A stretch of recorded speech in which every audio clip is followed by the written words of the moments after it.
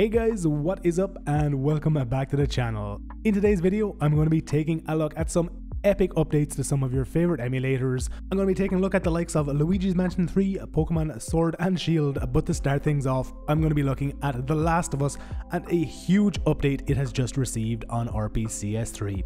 So if anybody has seen any past coverage of this game on my channel, you would probably remember that this game never really ran the best or rendered the best on this PlayStation 3 emulator. In the past few weeks though, this has drastically changed. They fixed a ton of issues, like in this loading screen, it no longer has horrible RGB flickering all over the place.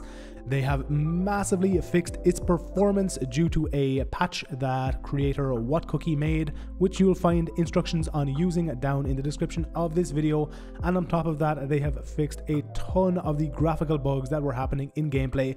Just look at this in gameplay, rendered as well as it is, I'm running at close to 30 frames per second, something I've never seen in this intro section of the game, not even on really, really hacky builds that were only made to run this game alone. What you're watching right now is the latest master build from the RPCS3 website, and while it does drop down in performance, you'll see when it switches camera angle, it's like 17, 18 frames per second, but upon going back to older videos of mine, it was running at like 4, 5 and 6 frames per second in this exact same area with horrendously broken graphics in the past.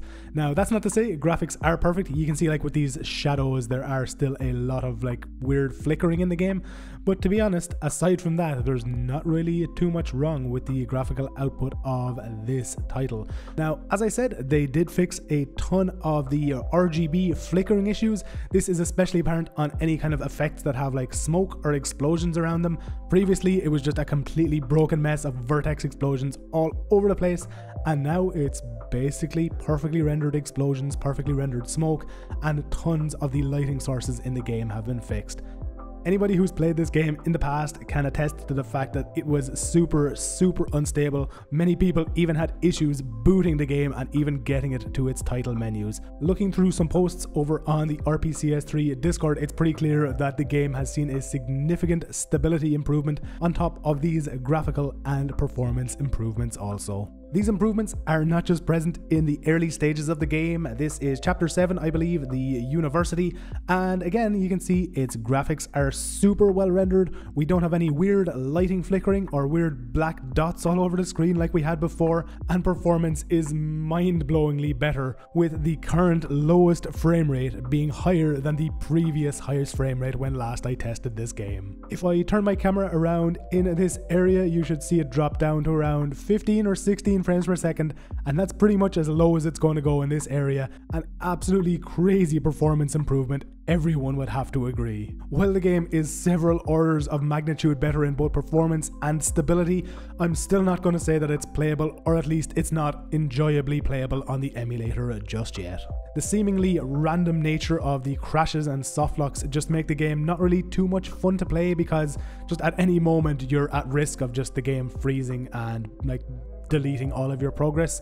So until I fix those issues, this game is going to remain in the in-game status and not playable. Staying on the topic of unbelievable compatibility, rendering and performance improvements, let's take a look at Luigi's Mansion 3, which is now considered both fully playable and basically perfectly rendered on the Nintendo Switch emulator Ryujinx. While the changes shown in this video are not currently merged to the master version of this emulator, they are all currently present in their Angel branch, which has been dubbed their GPU 2.0 update by the community.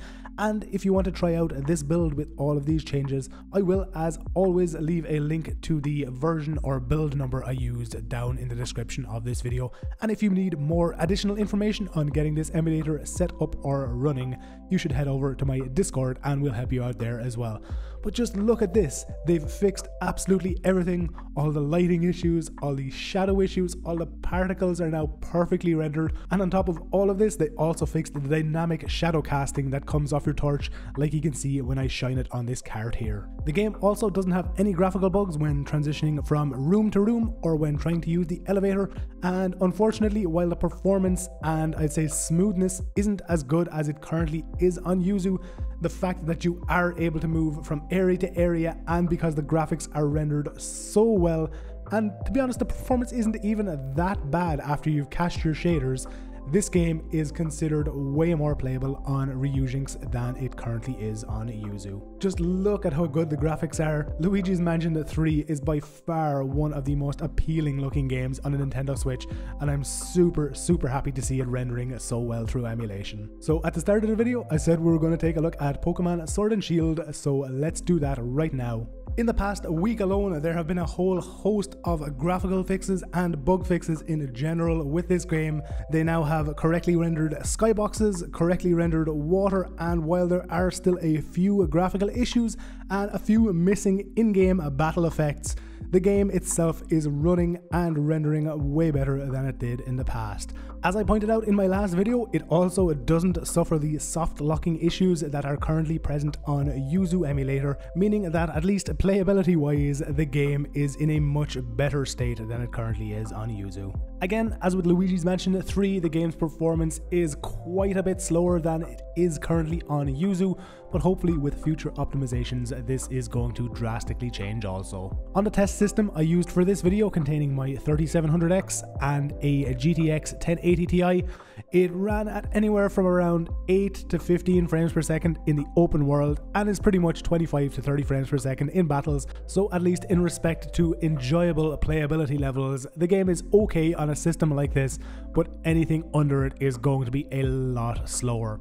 If that is the case for you, you are unfortunately going to have to wait for future optimizations to Ryujinx or for Yuzu emulator to fix the soft locking issues that are currently occurring on their end. As always, when anything changes in respect to any of these games' performance, compatibility, or just general usability, I will be sure to let you guys know as soon as possible. And again, if you guys have any games you would like to see me test on Ryujinx, RPCS3, or indeed any of the new updates we've gotten to Yuzu or Cemu emulators, please do let me know down below in the comment section and I will test them out for you absolutely no problem at all. That's going to be it for this latest episode of Epic Emulation Updates.